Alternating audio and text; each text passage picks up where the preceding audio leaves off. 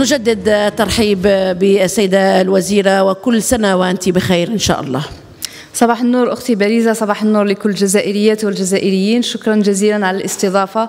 آه، ننتهز الفرصة حتى نتمنى لكل الشعب الجزائري عام سعيد آه، مليء بالنجاحات ومليء بالأمان والإطمئنان إن شاء الله. شكرا لاستضافتكم في هذا العدد الأول. آه، مرحبا بك. يعني سيدة الوزيرة المجلس الوزراء الأخير المتوج لسنة 2016 حدد أولويات قطاعات بذاتها من لكونها ركائز للنموذج النمو النمو آه، المرتقب في أفاق 2019 آه، من بين هذه آه، القطاعات قطاع البريد وتكنولوجيات الاتصال وأكد المجلس حتمية مراجعة المنظومة القانونية. ما الذي يفترض مراجعته بأي آليات؟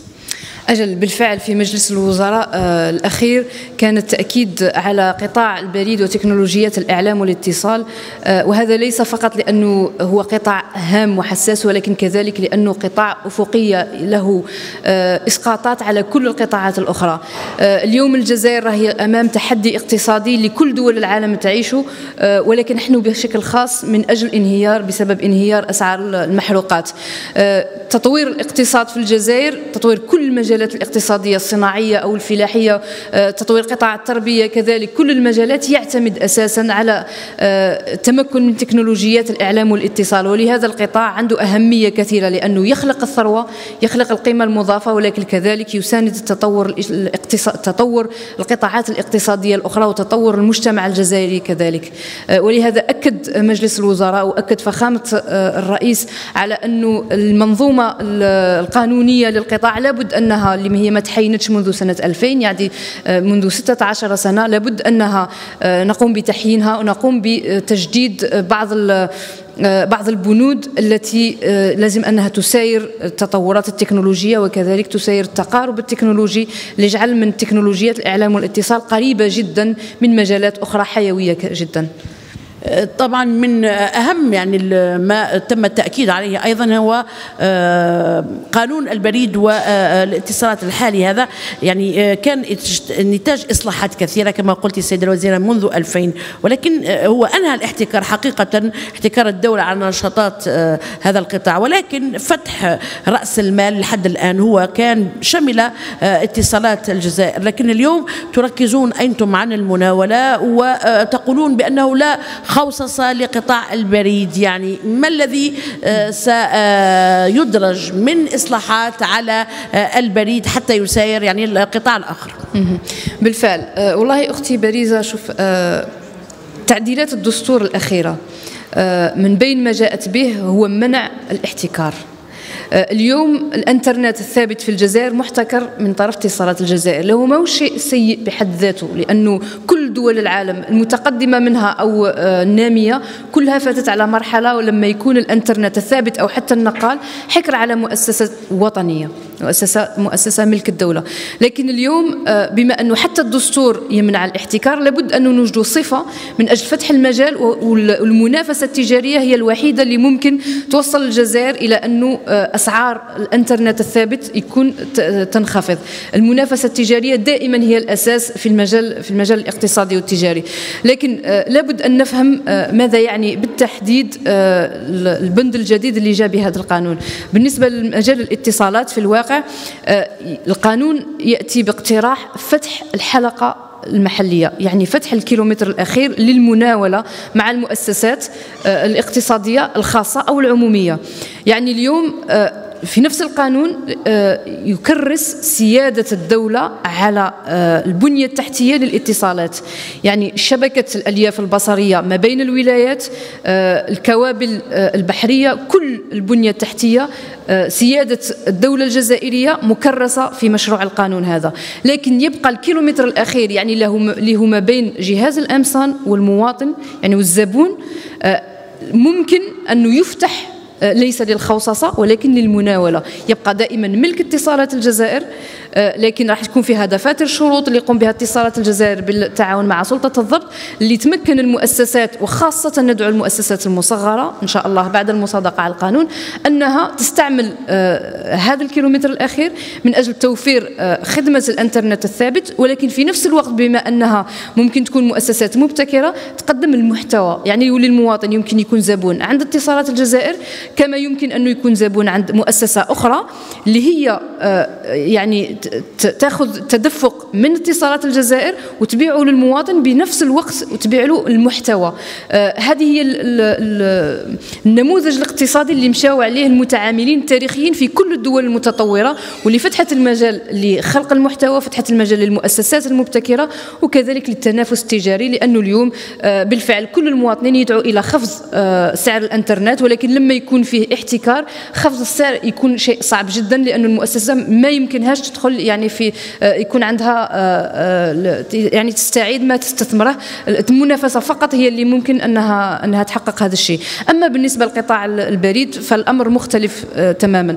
قطاع البريد فيه شقين فيه آه، الجزء اللي لابد أنه يبقى آه، تحت سيادة الدولة يعني ملك لبريد الجزائر فقط وفيه آه، البريد السريع اللي منذ سنة 2000 مجال المنافسة مفتوح فيه لمتعاملين حتى أنه كان متعاملين خواص جزائريين وأجانب ينشطوا في هذا المجال. القانون في مجال البريد جاب يعني تعديلات خفيفة من أجل التقارب كذلك التكنولوجي لأنه كما نشوفوا اليوم البريد الإلكتروني صار يطغى. بريد الجزائر اليوم راهي ماشيه نحو العصرنه ولابد أنه يكون بعض سن بعض القوانين اللي تفتح المجال لبريد الجزائر حتى هي كذلك تدخل مجال تكنولوجيا الإعلام والاتصال. يعني آه، من بين يعني المشاكل يعني البريد الجزائر نبقى فيه يعني يعاني عدة إشكاليات سيدة الوزيرة. آه، لافت يعني في آه، الكم الكثير من هذه الإشكاليات تلك المرتبطة بإعاقة التجارة وتأخير المعاملات التجارية. وألا تعتقدين بأنه أنا الأوان للإصلاح في هذا الجانب على وجه الخصوص؟ أه والله أه بريد الجزائر أه باش نتكلموا بصراحة منذ أه سنوات عديدة هو يعيش مشاكل كبيرة لأنه بريد الجزائر هي مؤسسة اقتصادية وتجارية. لكنه في نفس الوقت مؤسسة تقدم خدمة عمومية. وبالتالي الخدمة اللي تقدمها بريد الجزائر في جلها مجانية.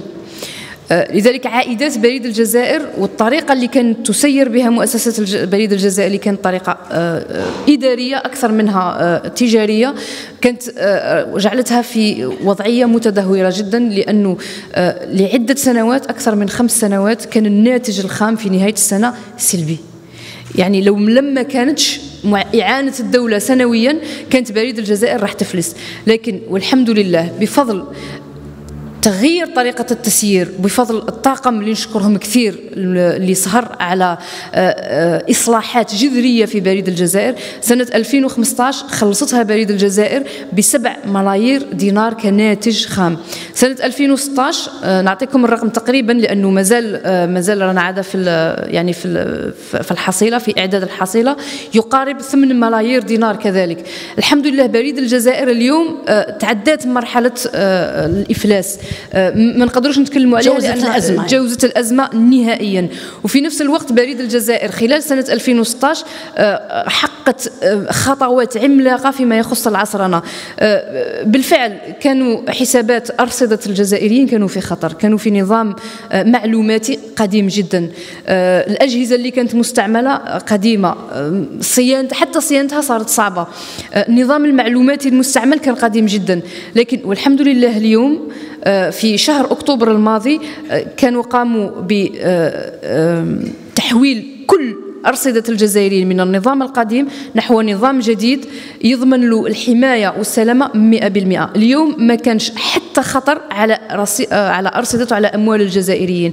وبهذه المناسبة نوجه تحية خاصة لمجموعة من الشباب راهم يعملوا اليوم في بريد الجزائر مجموعة من المهندسين في في الإعلام الآلي اللي هما أشرفوا على إعداد منظومة آه، معلوماتية جديدة. آه، يعني آه، فخر كبير لما نشوفوهم ونتمنى أنكم تروحوا المديرية العامة لبريد الجزائر وتتلاقاو معاهم فخر كبير لأنهم شباب متخرجين من جامعات جزائرية عملوا لمدة ست أشهر وكانوا هما سهروا. حتى حتى التجهيزات اللي استوردتها آه، بريد الجزائر حتى تعوض التجهيزات القديمة اللي كانت عندها. آه هذا الفريق من الشباب الجزائري هما اللي قاموا آه بإعدادها هما اللي قاموا ب آه يعني الانستالاسيون تاعها. ما استعملوا ولا خبرة أجنبية. اليوم بريد الجزائر تعدات الأزمة وكل حسابات الجزائريين مؤمنة وكذلك قامت بإطلاق الدفع الإلكتروني.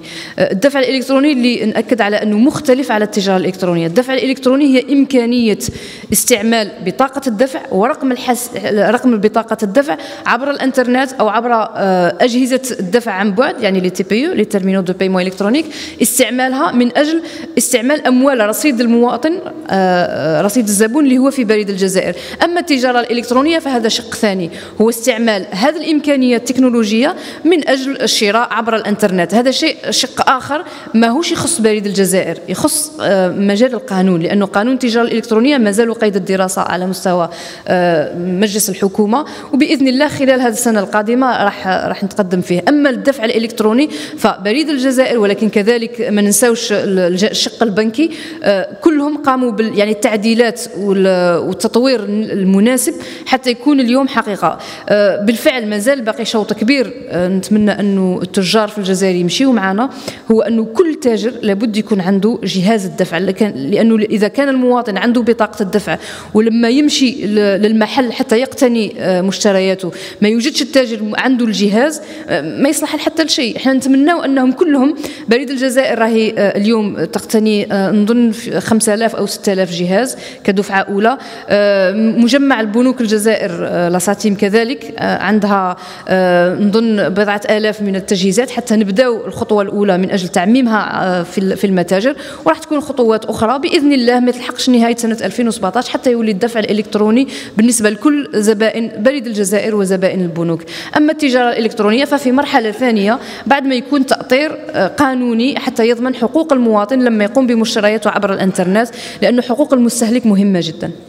آه، سعيد طبال عن التلفزيون. معالي الوزيرة آه، العودة فقط إلى مسألة خوصصة مؤسسة اتصالات الجزائر. هل هناك آه، تواريخ آه، تقريبية بالنسبة للخوصصة ليتم فتح رأس مال مؤسسة اتصالات الجزائر؟ أو السؤال الثاني الشق الثاني من السؤال هل سيتم فتح رأس المال للمؤسسات الوطنية المحلية أم لدول يعني خارج الجزائر؟ على غرار تم الحديث في 2015 أنه شركة أورانج وأسفار التي تريد الاستثمار هنا في الجزائر. والله آه، الحمد لله المناخ التجاري في الجزائر آه، منتعش جدا رغم الأزمة. ولذلك كل المتعاملين جل المتعاملين الأجنبيين يتمنوا أنهم يدخلوا للسوق الجزائرية. لكن آه، في الواقع ما كانش لحد اليوم ابدا أي تفكير في فتح رأس المال لا لإتصالات الجزائر ولا لأي فرع من فروعها لا موبيليس ولا أي آخر. آه، فتح رأس المال غير وارد بتاتا. آه، ربما كان فيه سوء فهم لما تكلمنا عن فتح الحلقة.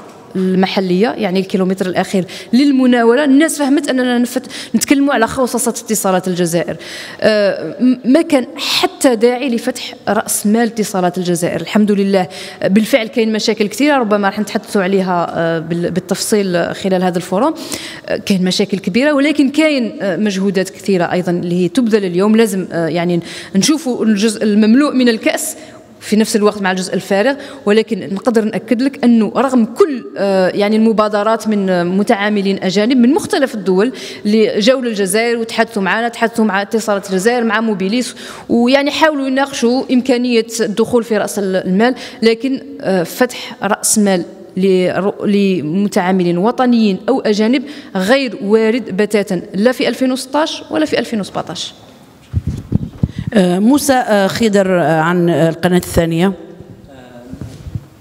مساء الخير مع الوزير. يعني كنتم قد أعلنتم سابقا عن إطلاق قمر صناعي جديد فيما يخص تغطية مناطق الجنوب الكبير التي لا يفرض على المتعاملين اقتصاديا الاقتصاديين أو المتعاملين تغطيتها. مع الوزيره إلى أين وصل هذا المشروع؟ بالفعل الوكالة الفضائية الجزائرية نظام قامت بإطلاق عدد من الأقمار الصناعية لحد اليوم لكنها أقمار يعني لتقوم بالتقاط صور من أجل المناخ من أجل دراسة الأرض من أقمار صناعية للبحث العلمي كذلك.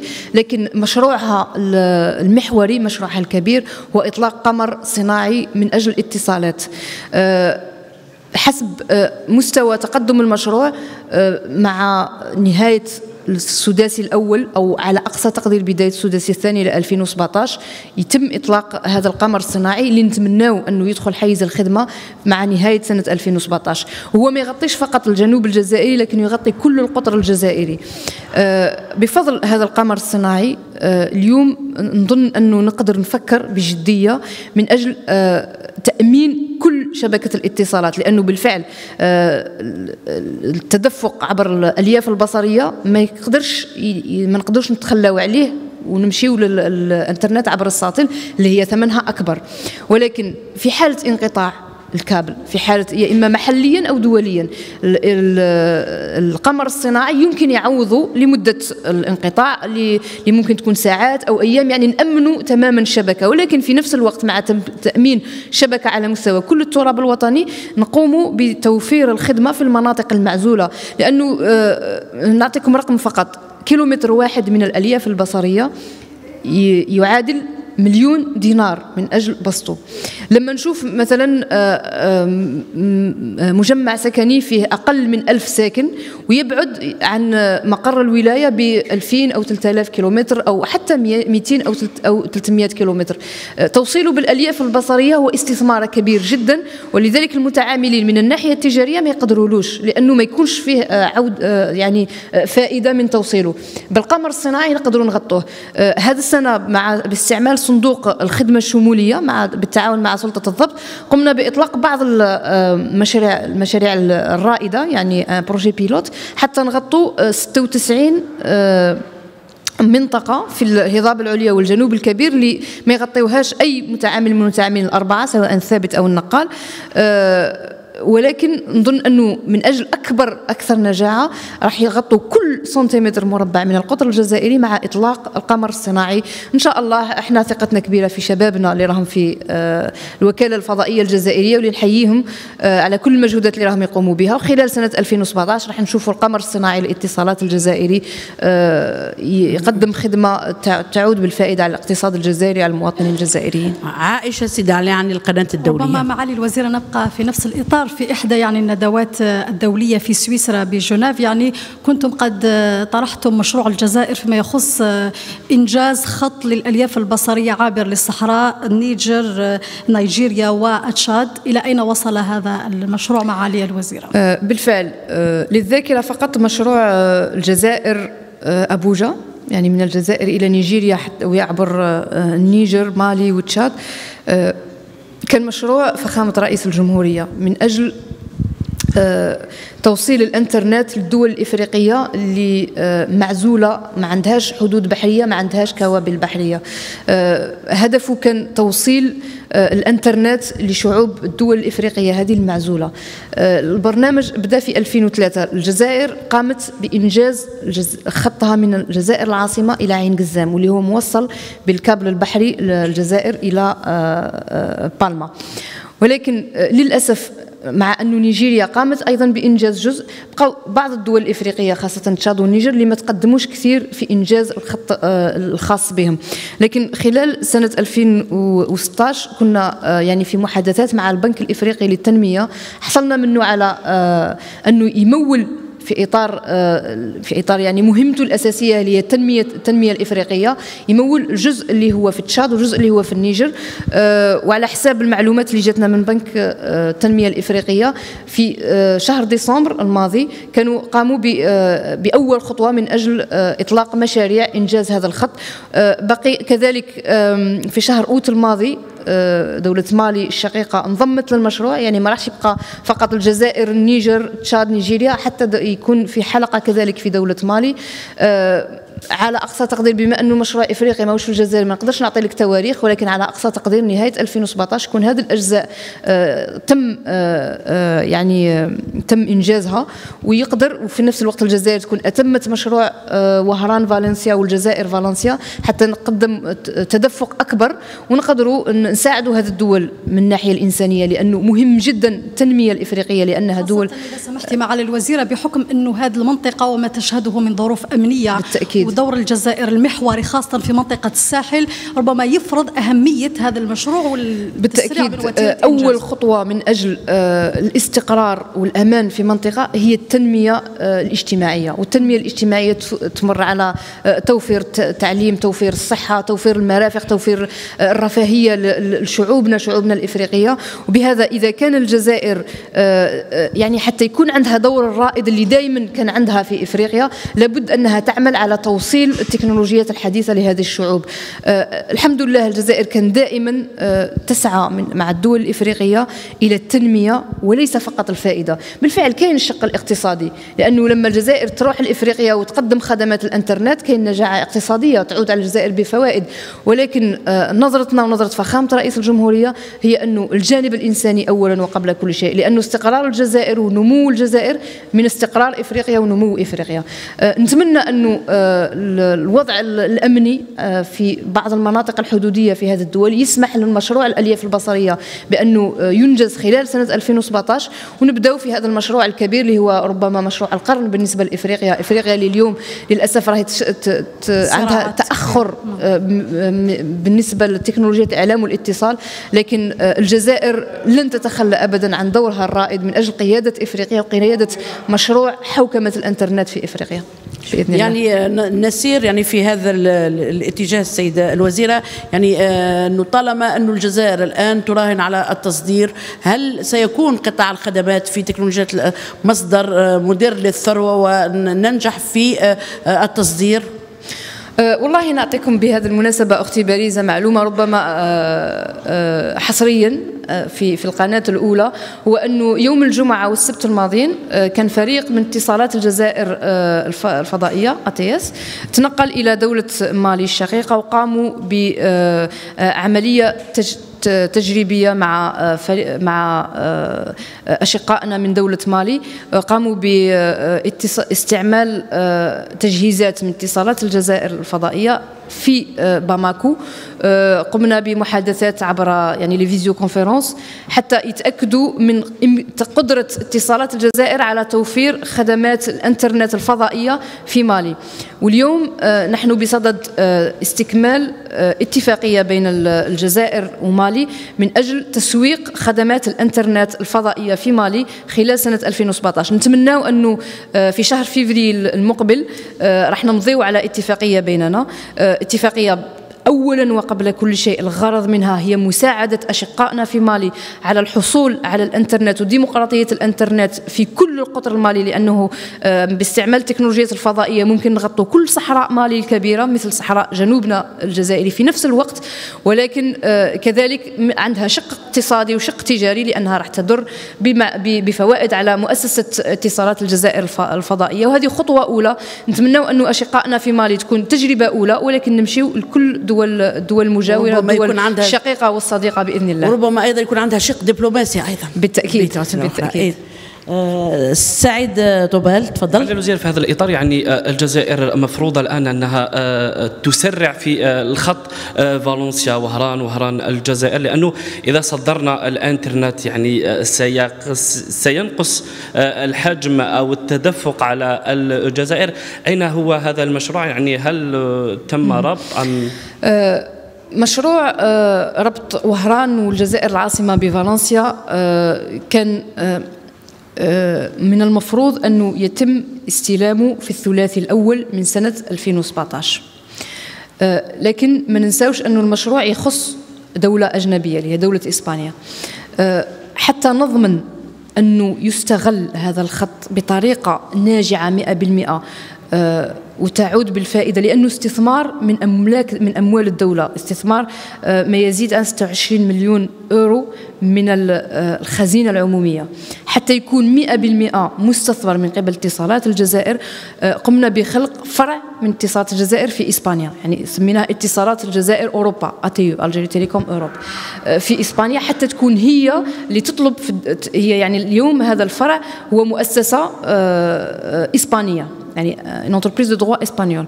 هي اللي تطلب من الإدارة الإسبانية التصريحات اللازمه من أجل توصيل الكابل البحري على الشواطئ الإسبانية. آه، لأنه المياه الإقليمية الإسبانية والتراب الإسباني يعني تحت سيادة الدولة الإسبانية. وعندنا علاقات يعني معهم علاقات صداقة علاقات متينة. وكانت آه، آه، الشركة هذه قدمت طلبات من أجل تصريحات وضع إنجاز الخط يعني الشق تاع الخط الألياف البصرية في المياه الإقليمية وفي التراب يعني في الشواطئ الإسبانية. هذا التصريحات تاخرت نوعا ما؟ لأنه كما في كل العالم إحنا فقط نقولوا الجزائر في كل العالم الاجراءات الإدارية تأخذ وقت. آه، إن شاء الله مع آه، آه، نهاية الثلاثي الأول من هذه السنة تكون عندنا تكون شركة اتصالات الجزائر حصلت على التصريحات ويبدأ إنجاز الجزء اللي يدخل في المياه الإقليمية الإسبانية واللي يوصل حتى الشواطئ الإسبانية. الجزء اللي هو في في المياه الدولية راهو الآن في هذا الوقت اللي نتكلم فيه الأعمال على قدم وساق. الجزء اللي هو في المياه الإقليمية الجزائرية راح يشرح فيه في الأسابيع القادمة. آه، وبإذن الله ما هو أكيد هو أنه في 2017 على نتمنى أنه قبل جوان 2017 لكن على أي آه، على أقصى تقدير خلال 2017 يدخل حيز الخدمة. في نفس الوقت نتمنى كذلك مع الدول الإفريقية راح يكون تأمين للشبكة الوطنية وكذلك تأمين لدور الجزائر بالنسبة لريادتها في القارة الإفريقية. إن شاء الله. آه، سيدة الوزيرة يعني آه، بالنسبة نعود إلى اتصال الاتصالات. يعني أهم الإنجازات آه، المحققة في سنة 2016 16 كانت إطلاق خدمة الجيل الرابع للهاتف النقال. كيف يعني تسير وتيرة هذه الخدمة؟ هل فعلا يعني تحقق تطلعات المواطن؟ وربما ما هو أثرها على التنمية الاقتصادية والاجتماعية؟ بالفعل في 2016 ربما بالنسبة للمتعاملين الهاتف النقال كان أكبر تحدي رفعوه هو الجيل الرابع. لأنهم في في مرحلة ما كانوا كانوا يقولوا انه الاستثمارات تاع الجيل الثالث كبيرة جدا مازال ما انتهيناش من بسط الشبكة. الجيل الرابع يعني ما جاش في وقته لازم نستناو. لكن الموقف السياسي في الجزائر واضح. ما نقدروش نسمحوا ابدا أن الجزائر تزيد تتخلف على الركب التكنولوجي في العالم. وما ننساوش كذلك أنه الفرق بين الجيل الثالث والجيل الرابع من الناحية التكنولوجية صغير جدا. يعني الاستثمارات اللي يقوموا بها المتعاملين ما هيش كبيرة. آه، استيراد التجهيزات ما هوش بحجم كبير. يعني نفس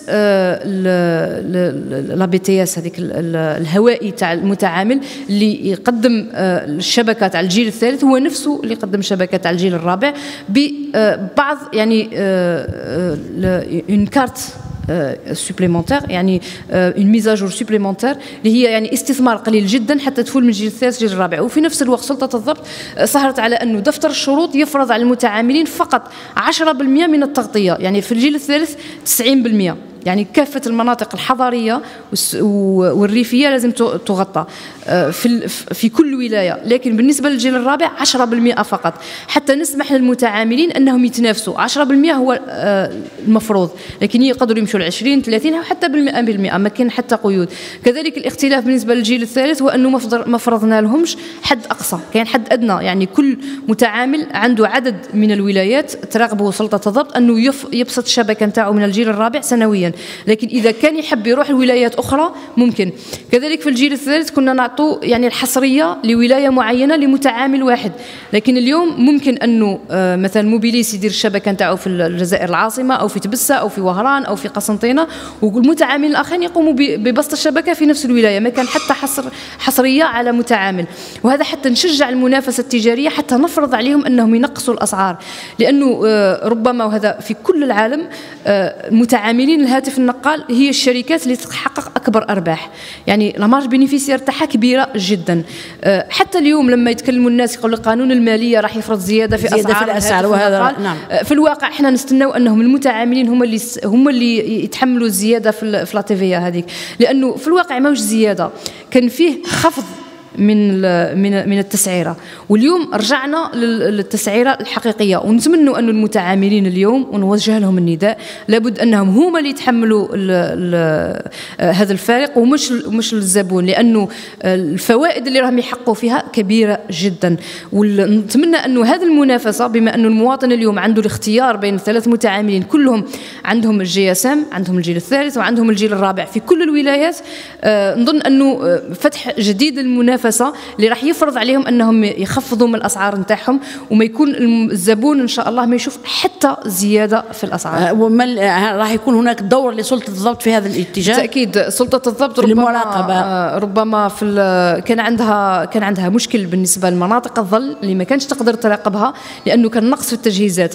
اليوم مع الوكاله الوكاله الوطنية للذبذبات اقتنت آه، تجهيزات ثابتة وتجهيزات متنقلة آه، اللي كنا ربما شفناها في بعض بعض الخرجات الميدانية اللي تقدر تقيس آه، انتشار آه، الشبكة يعني la pénétration du réseau في كل منطقة. واليوم آه، مع سلطة الضبط تقوم آه، مثلا في الطريق السيار مثلا في بعض المناطق الحضرية اللي فيها نسبة السكان قليلة تقوم بقياس نسبة آه، الشبكة تاع كل متعامل وتعطي الأرقام آه، الدقيقة لسلطة الضبط واللي تقدر تفرض أتوات تفرض يعني آه، آه، على المتعاملين أنهم يدفعوا يعني أموال. إذا ما قاموش آه، بتحسين بتحسين الشبكة وخلال سنة 2016 في مناطق كبيرة من الوطن ونظن أن المواطنين شافوها كان تح- تحسين وتكثيف آه، شبكة المتعاملين النقال وخلال سنة 2017 راح نكملوا على نفس الوتيرة بإذن الله. عائشة سيدالي معالي الوزير ربما نعود قليلا إلى قطاع البريد. يعني في الأونة الأخيرة أو السنوات الأخيرة فعلا خفت حدة الطوابير داخل مراكز البريد. فيه تحسن فيه ال- الأجهزة تاع الدفع السحب الإلكتروني عن طريق البطاقة الإلكترونية. ولكن يعني آه، هذه ال- ال- الأجهزة ربما في بعض الأحيان وفي غالب المناطق يعني وإما تكون معطلة في أحيان كثيرة أو تكون خالية من يعني السيولة المالية ما تكونش فيها آه، أموال آه، وهذا يخلق ربما متاعب خاصة في عطلة نهاية الأسبوع بالنسبة للمواطنين. وأيضا فيه عدد كبير حسب الإحصائيات إنه عدد كبير من المواطنين ما زالوا يعتمدوا على يعني الشيك عوض البطاقة الإلكترونية في حتى اللي آه، ما سحبوش البطاقة الإلكترونية تاعهم لحد الآن أو ما يستعملوهاش أو ضيعوا الرقم السري إلى غير ذلك. يعني ما بالك لما نتكلموا الان على الدفع الإلكتروني إلى غير ذلك.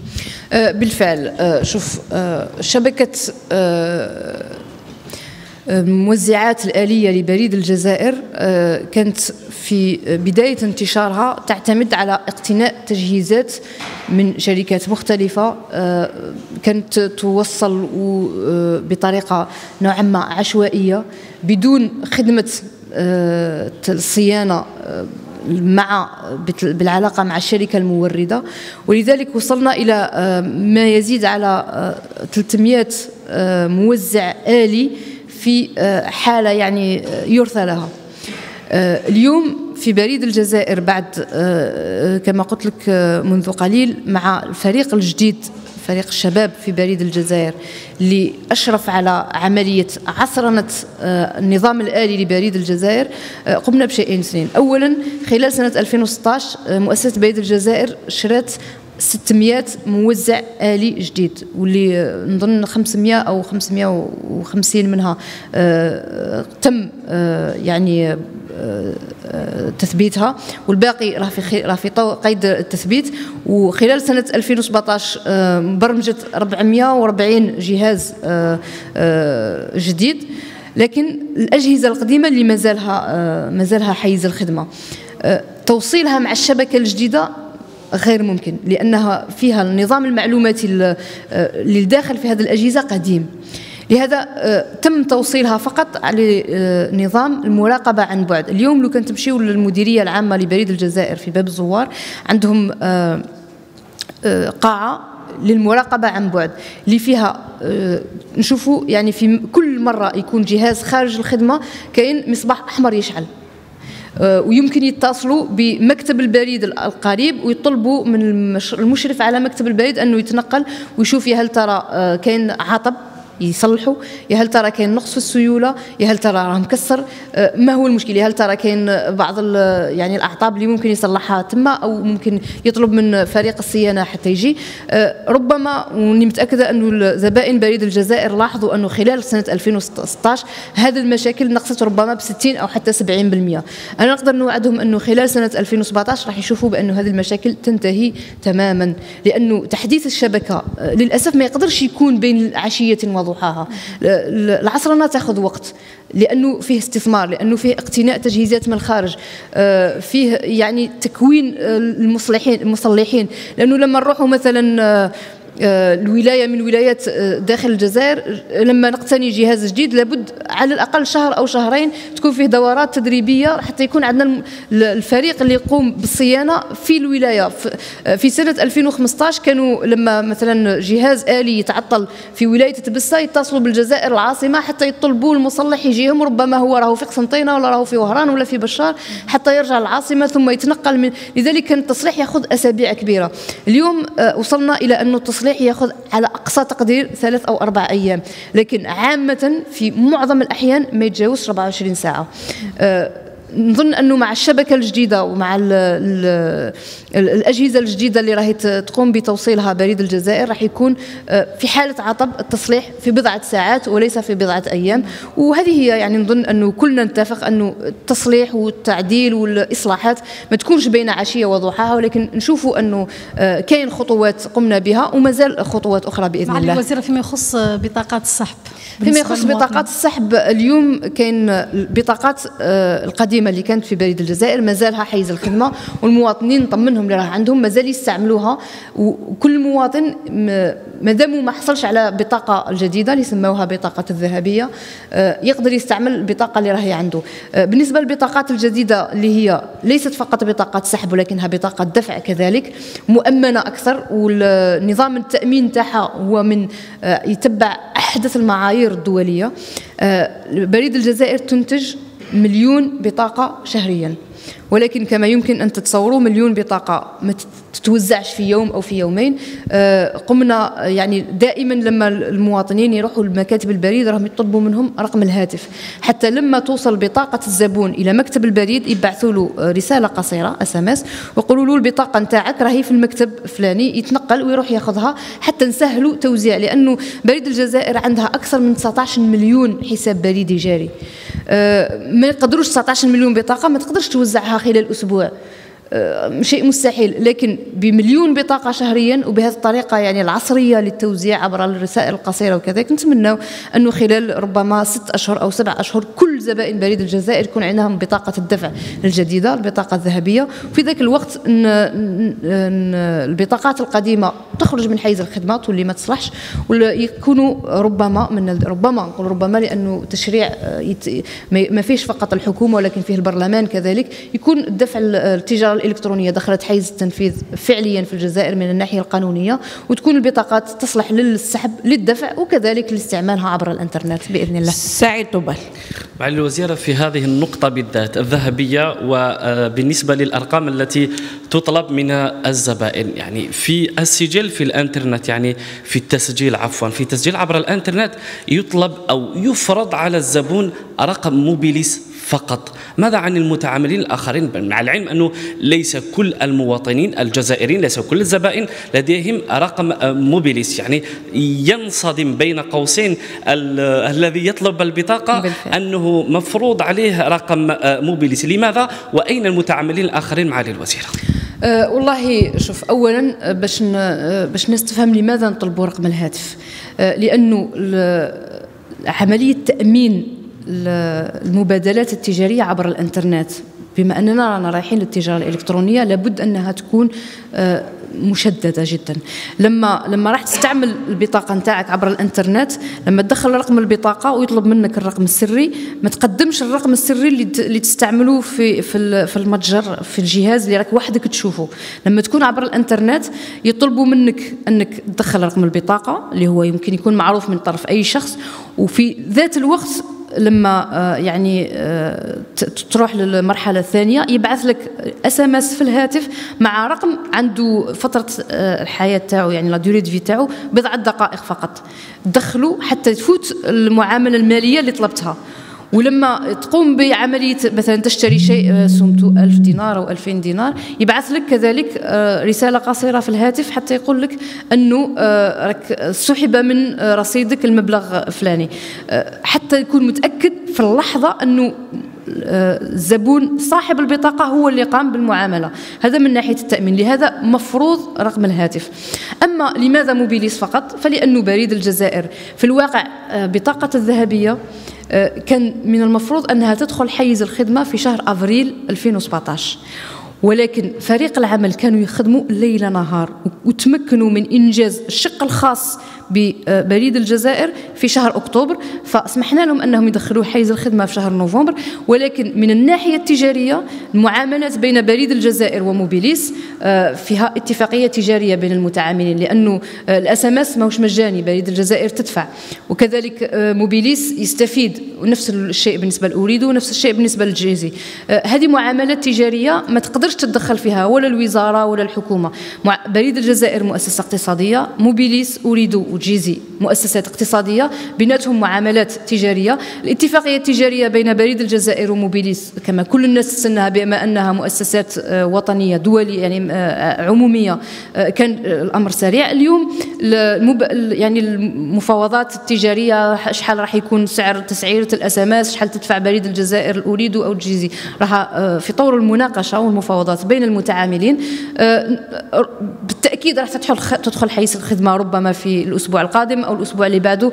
أنا دائما نتصل بمدير بريد الجزائر ونقول له حاولوا تسرعوا حتى ولو تدفعوا أكثر معليش ولكن ما ننساوش أنها مبادلة تجارية لابد أنه يكون الحرص على أنها تكون آه، النجاعة الاقتصادية آه، بعدها. ونطمنهم آه، بما أنه اليوم ربما أقل من مليون بطاقة وزعت نطلبوا منهم فقط بعض الصبر المواطنين اللي عنده رقم جيزي أو عنده اريدو ما نقولولوش روح اشتري بطاقة عن موبيليس بالتأكيد. ممكن يصبر شوية خلال الأسابيع القادمة ممكن هو تاني يحصل على البطاقة نتاعو بالرقم الخاص نتاعو مع أي متعامل.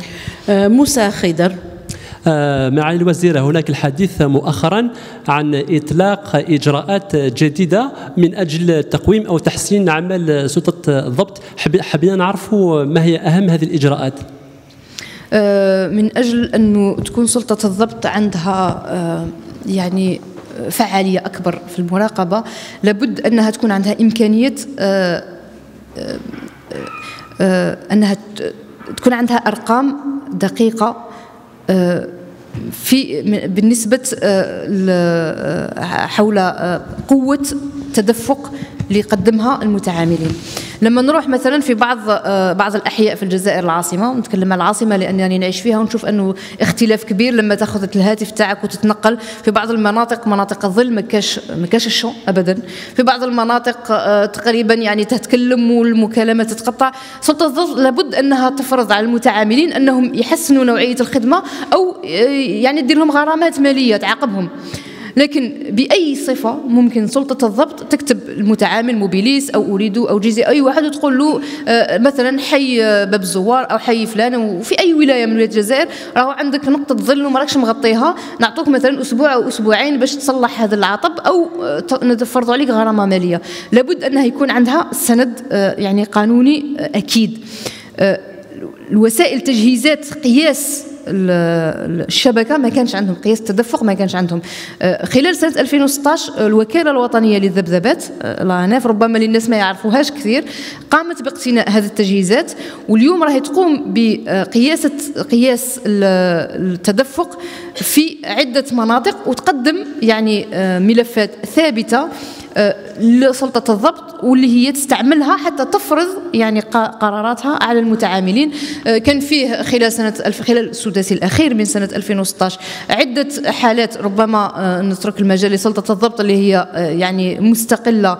أنها تقدم لكم الأرقام عبر حول يعني الخرجات الميدانية اللي قامت بها. ولكن بالتأكيد خلال سنة 2017 راح نمشي أكثر في هذا في هذا في هذا المجال. ولكن كذلك من جهة أخرى ما ننساوش أنه مثلا ربما أكثر المشاكل هي في الجيل الثالث وربما الآن كذلك مع الجيل الرابع. هي حديثة العهد في الجزائر. دائما في كل الدول شوف أنه أول شيء يقوم به المتعامل النقال هو أنه يحط الهوائيات نتاعو في الأحياء الأكثر كثافة. في مرحلة ثانية يقوم بالأحياء الأقل وهكذا آه، يتقدم لأنه استثمارات ما نساوش ما يقدرش في مرحلة واحدة يعني في سنة واحدة يغطي 100% كل التراب. يعني ما دام الوقت يفوت ما دام المتعاملين آه، بالتأكيد مع رقابة سلطة الضبط يتقدموا في آه، يعني تحسين الشبكة la densification du réseau والخدمة تتطور وسلطة الضبط بالتأكيد تسهر عليها. السيدة الوزيرة في السياق ذاته يعني آه، آه، توقعاتكم بالنسبة ل آه، يعني وصول التدفق العالي للإنترنت عبر الوطن متى تكون؟ يعني بالتدفق العالي لتحقق حقيقة الرفاه. والله سؤال وجيه جدا أختي باريسه ربما منذ سنوات كثيرة وإحنا نتكلموا عن مشروع التدفق العالي والعالي جدا في الجزائر. لكن ربما آه، نقول الأشياء كما هي في الواقع. آه، كلنا أبناء الشعب الجزائري وعايشين نفس الظروف اللي عايشها الشعب الجزائري. آه، اتصالات الجزائر اليوم عندها عروض تجارية تاع 2 ميجا 8 ميجا كأقصى تقدير. لكن الزبون في المنزل لما يكون عنده واحد ميجا أو ربما تقريبا واحد ميجا يعتبر نفسه يعني محظوظ. حتى أنه أحياء كبيرة وحتى أحياء كبيرة في العاصمة يعني ما نتكلمش على داخل الوطن وين الناس راهي تعاني. مازال ما وصلوا لهاش آه، آه، كاين ناس نتكلم معاهم كاين اللي عنده سنة سنتين من اللي طلب على الهاتف الثابت مازال ما لحقلوش. نعطيكم بعض الأرقام حتى يعني نوضح الصورة أكثر. خلال سنة 2014 و2015 اتصالات الجزائر كان عندها مشروع توصيل ربع ملايين زبون جديد. قتلت تجهيزات بما هو أكثر من 159 مليون دولار تجهيزات من أجل توصيل 4 ملايين خط جديد من التدفق العالي والعالي جدا. لكن بالموازاة مع هذا خلال سنتي 2014 و2015 تم توصيل 700 ألف زبون جديد. أه، السؤال هو لماذا؟ السبب أه، ربما سهل وصعب في نفس الوقت. سهل لأنه مسألة تسيير أه، مسألة طريقة العمل في اتصالات الجزائر. ولكن صعب لأنه لازم ما نقدروش نحلوا ما كان حتى مشكل في العالم يحل بين عشية وضحاها. آه لابد أنه يكون ناخذ الوقت الكافي من أجل تشخيص الداء لأنه كما يقال تشخيص الداء نصف الدواء. آه خلال الأشهر آه الماضية كان فيه في اتصالات الجزائر مع فريق العمل الجديد اللي آه، نحييهم كثيرا خاصة خاصة نحيي مهندسي اتصالات الجزائر. اللي قاموا بتشخيص أعطاب الشبكة خلال آه، عبر 48 ولاية. وقدموا مشروع متكامل ومتجانس شامل اللي راح يبدأ تنفيذه ابتداء من هذا الشهر. من أجل توصيل مليون خط جديد بالتدفق العالي جدا حتى 100 ميجا. بالتكنولوجيا اللي يسمى ال FTTH يعني fiber to home يعني الألياف البصرية حتى المنزل. آه، ومن أجل كذلك آه، عصرنت كل الشبكة يعني كل الخطوط اللي راهي اليوم يعني فيها عدم تجانس بين جزء ألياف بصرية جزء نحاسي جزء مكسر جزء تجهيزات MSAN قديمة جزء تجهيزات MSAN حديثة. كل هذا الشيء كل هذه الأعطاب قاموا بتشخيصها. واليوم المشروع آه، راح يبدأ كوحدة آه، يعني آه، مجمولة. فيها تعامل مع الشركاء التكنولوجيين اللي اليوم آه، نفرضوا عليهم أنهم يساهموا معنا حتى توصيل الشبكة للمواطن. آه، ممكن فقط إذا سمحتي آه، تروحوا المدينة الجديدة سيدي عبد الله اللي قام فخامة رئيس الجمهورية بتدشينها. كل المناطق السكنات اللي فيها فيها 100 ميجا وكانت un projet pilote وان شاء الله نشوفوه في كل القطر الجزائري خلال سنة 2017 كان استثمارات الدولة كبيرة جدا. 2015 21 مليار دينار استثمرتها اتصالات الجزائر. ربما مش كلها ضايعة بالتأكيد لأنه التجهيزات ما زالها هنا. لكن خلال سنة 2017 راح نبدأ ابتداء من هذا الأسبوع آه، في انطلاق المشروع الجديد هذا اللي آه، يعني مشروع معد فيه محسوبة يوم بيوم عملية بسط الشبكة. مليون خط للتدفق العالي والعالي جدا. آه، المشروع الرائد يعني التجربة كانت في المدينة الجديدة لسيدي عبد الله. قاموا بقياس التدفق في المنزل 100 ميجا بايت. يعني 100 ميجا ادوميسيل هذه التكنولوجيا راح تستعمل في كل القطر الجزائري. في السنة الأولى مليون خط وتحديث الخطوط الموجودة. راح ياخذ وقت لأن الجزائر ما فيهاش مليون زبون لكن نحاولوا يكون أكثر. يعني مليون على أقل تقدير. نتمناو أنه نوجدوا مؤسسات أخرى حتى نقوموا بمليون آخر. لكن راح تكون هذه الوتيرة خلال سنتين أو ثلاثة القادمة ونوعد الجزائريين أنهم كلهم يوصلوا التدفق العالي والعالي جدا. كذلك نستغل هذه الفرصة باش نبشر المؤسسات المصغرة تاع اللي هي مئات المؤسسات اللي كانت القافلة في سنة 2015 جابت كل القطر الجزائري والشباب الجزائري تجاوبوا معنا وكلهم مهندسين وتقنيين. لكن آه هذا المهندسين متخرجين من الجامعة بتخرج نظري. التكنولوجيا في هذا المجال تتطور كل أسبوع مش كل سنة. باش يكون بإمكانهم أنهم يقوموا نعطوه لهم مشاريع في المناولة لابد أنه الشريك التكنولوجي لاتصالات الجزائر يكون معهم في الميدان وما يحصلش على على امواله يعني ما نخلصوش حتى نضمن التدفق في المنزل. عند الزبون. اليوم آه، اتصالات الجزائر هذه هو خطة طريقها في 2017 وهذه الشركات نقول لهم باللي راح في خلال سنة 2017 كاين 18 مليار دينار مشاريع فقط لهذه الشركات.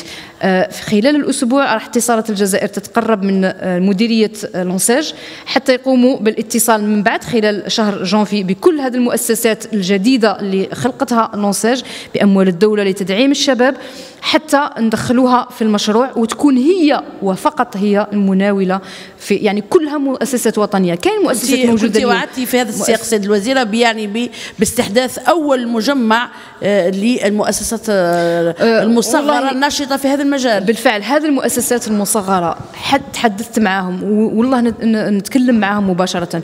كلموني وكلموني وتحدثنا وقمنا باجتماعات عمل وعدتهم أنهم ياخذوا مشاريع من اتصالات الجزائر. الزبون يستفيد لأنه توصل له التدفق العالي. اتصالات الجزائر تستفيد لأنه سعة التدفق اللي راهي تشريها بالعملة الصعبة من الخارج ما راهيش توصل للزبون اليوم.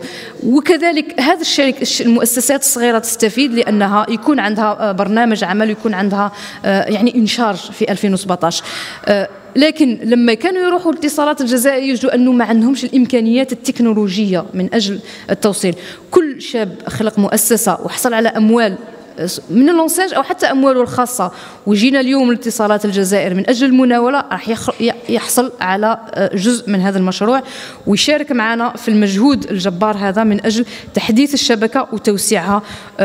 نظن أنه سنة 2017 راح تكون سنة الميدان ولكل واحد ممكن يروح يشوف اليوم واش قمنا في في في مدينة سيدي عبد الله ونضمن لكم أنه بالتأكيد نبداو بأكبر الولايات ولكن كل ولايات الجنوب الجزائري ولاية الهضاب العليا كلها راح يوصل لها التدفق العالي والعالي جدا ابتداء من سنة 2017 بإذن الله. سعيد طوبال.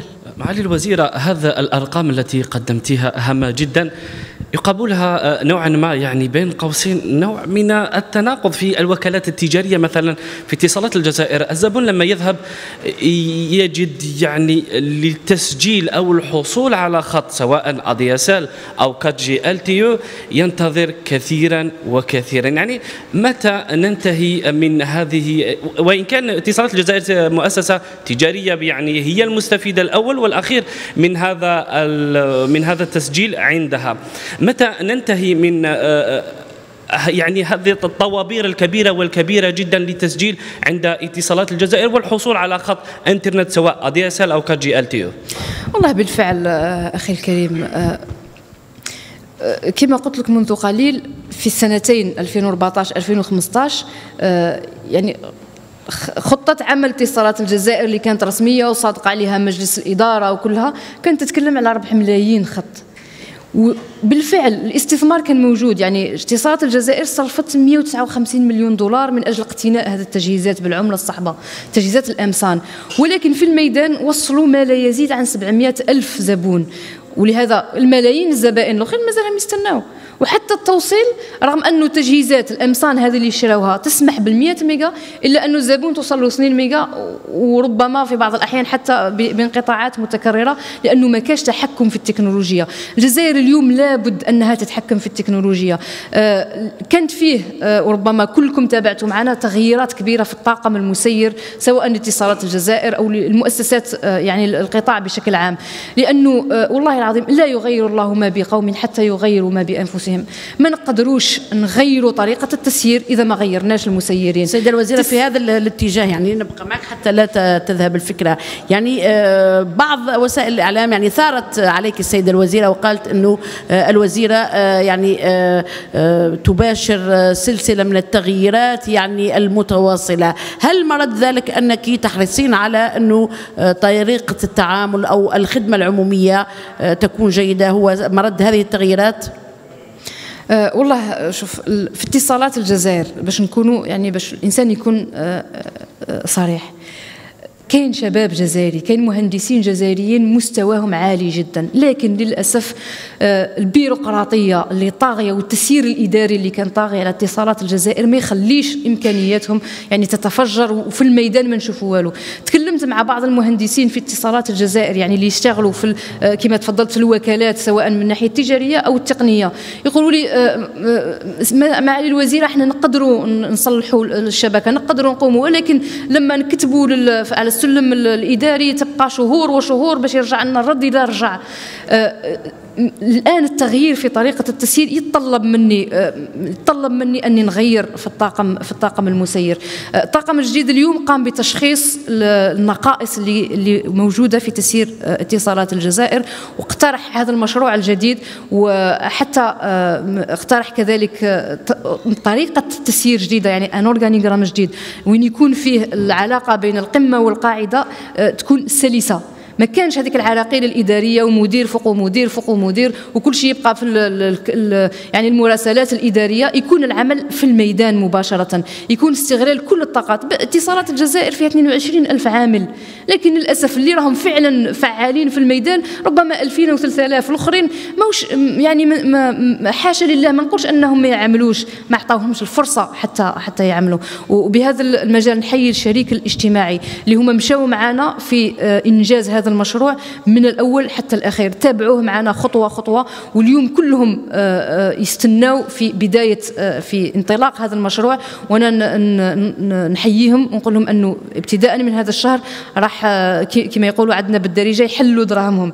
يعني كل عمال اتصالات الجزائر راح يكونوا في الميدان يحسوا بأنهم آه، التكوين اللي حصلوا عليه في الجامعات والراتب الشهري اللي تعطيهم اتصالات الجزائر راح يكون فعال وراح يرفعوا راسهم قدام المواطن الجزائري ويقدموا له آه، يقدموا له أحسن أحسن خدمة.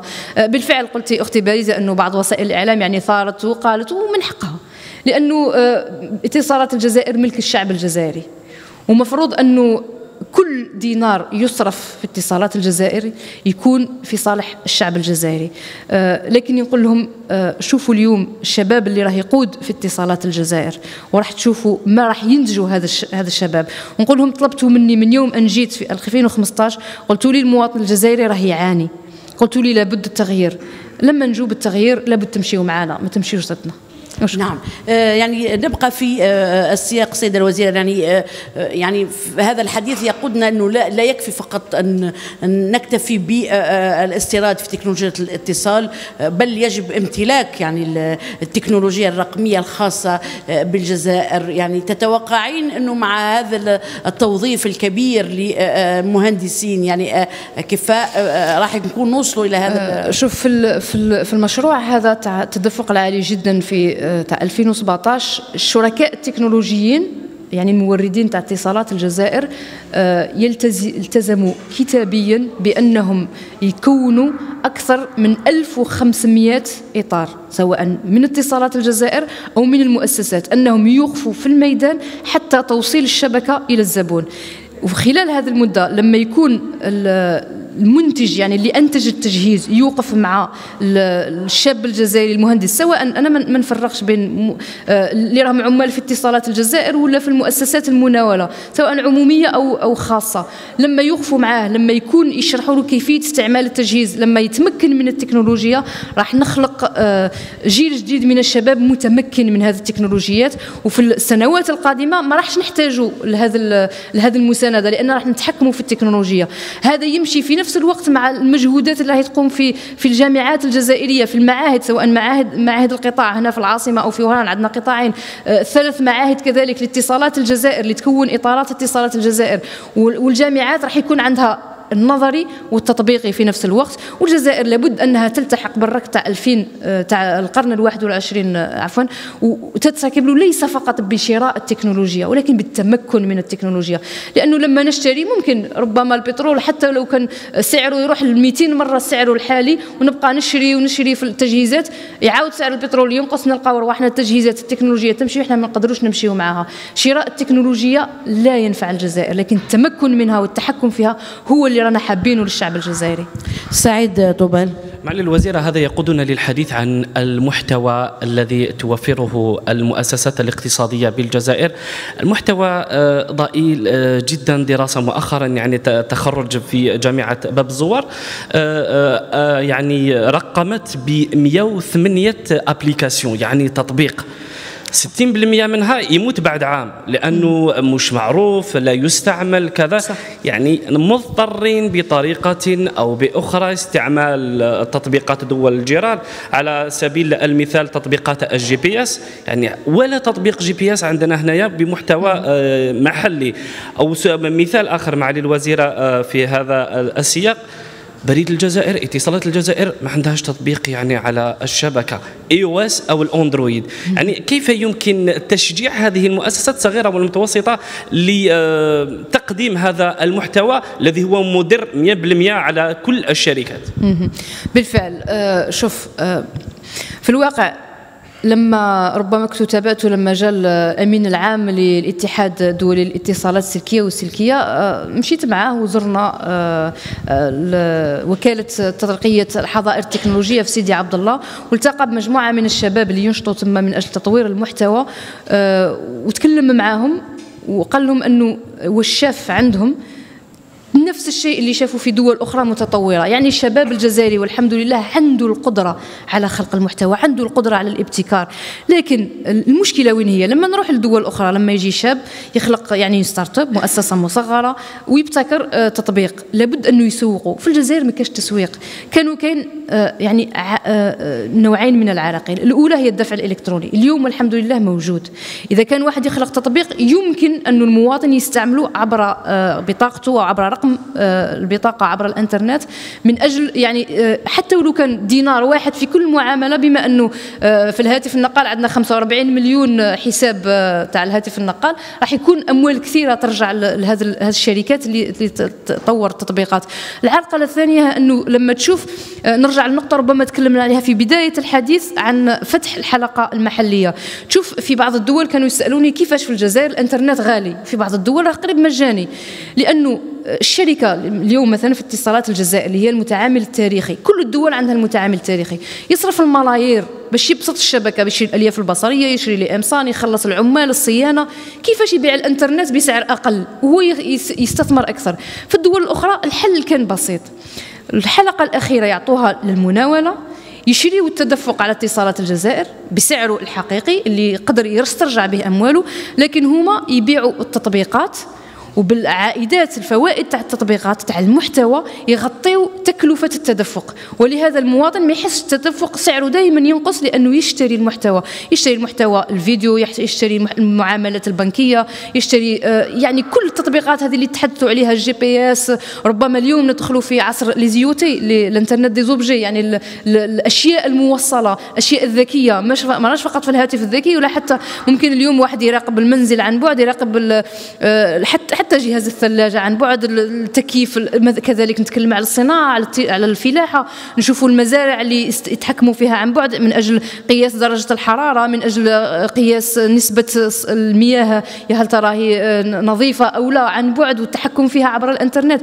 كل هذه التطبيقات والله ممكن تروحوا الحاضنة آه، سيدي عبد الله وحاضنات أخرى كاين تاع وهران تاع المدرسة آه، المدرسة العليا لتكنولوجيات الإعلام والاتصال في وهران. ولكن كذلك هناك حاضنات عند خواص هناك في في ولاية سطيف كذلك حاضنة. لما تشوفوا الشباب والله غير ينتجوا تطبيقات ممكن أنها تسوق حتى في في دول أوروبية أو أمريكية أو ولكن في الجزائر مشكلة التسويق. اليوم نظن انه رانا نحاولوا من الناحية التشريعية أننا نوضع الميكانيزمات اللي تسمح لهم أنهم يدخلوا للسوق. ومن الناحية كذلك التقنية نحاول أننا نقدموا التدفق السريع آه، الدفع الإلكتروني عصرنه البريد كذلك ما ننساوش عصرنه الإدارة ونحيوا كل المجهودات اللي تقوم بها آه، وزارة الداخلية وزارة العدل من أجل عصرنه الإدارة لأنه لما يكون المواطن يستعمل يعني الوثائق نتاعو عبر الإنترنت يكون عنده قابلية أكثر لأنه يستعمل التطبيقات عبر الإنترنت. نظن أنه مع كل هذا الشيء اليوم آه، رانا على بوابة خلق المحتوى الوطني آه، ونظن أن الشباب الجزائري راح نفتحوا له كل الإمكانيات حتى يشارك يشارك معنا في خلق آه، ما سميناه منذ سنوات كبيرة في الجزائر الرقمية يعني أو الجيري واللي مازال ما شفناش على أرض الواقع ولكن نتمنى أن نشوفوه آه، خلال سنة 2017 وعلى أرض الواقع سيد الوزير نتمنى نعرف يعني حقيقة الترتيب الجزائر في التصنيف العالمي. يعني الأمين العام للاتحاد الاتصالات اللي زار الجزائر مؤخرا يعني وصف الجزائر ببلد ديناميكي. يعني نتشتت الآن في المواقف. يعني في هل نحن في مرتبة آه، مشرفة أم متأخرين؟ ماذا تقولين؟ أه والله أه الجزائر كانت في مرتبة المرتبة أه 112 اللي هي لا نقبلها الجزائر. أه في 2016 أه طلعت لمرتبة 109 أه 103 عفوا. يعني انتقلت بتسع مراتب.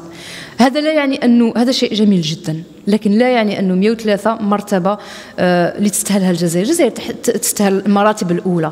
آه يعني بالنظر للجزائر الشابة، لإمكانيات الشباب الجزائري، للملايير اللي تصرفها الجزائر، بالنظر لتعليمات فخامة رئيس الجمهورية اللي دائما يوصي وحتى في مجلس الوزراء الأخير وكذلك منذ أن توليت المنصب ومن قبل يوصي من أجل آه، توصيل الجزائريين بالتكنولوجيا الجزيرة، مع كل هذا ما نقدروش نقبلوا المرتبة لا 200 لا 111 ولا 103 للجزائر.